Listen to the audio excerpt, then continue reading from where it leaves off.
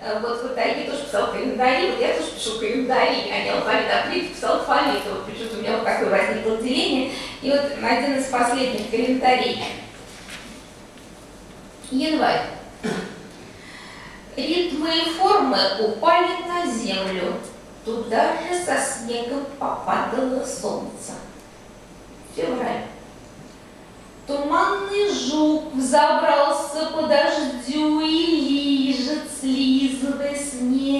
каждой капли. Март. На рельсах воды, на борозде к озеру, лес одеть на голое тело. Апрель. Солнце заглавное, готовый родиться мир перевернут, в капле на ветке висит, прорежется лист, сорвется мир. Если сидеть в часах изнутри, время движется справа налево, и его становится меньше. Июль. Деревья, растрепанные голосом, помещенные в текущий мир. Июль. Стихи сухие, обветренные, подземный от загара гул. Август.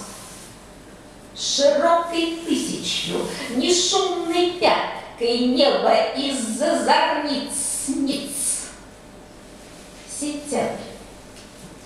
Из моря вылезает мраморный бизон и оседает на камнях.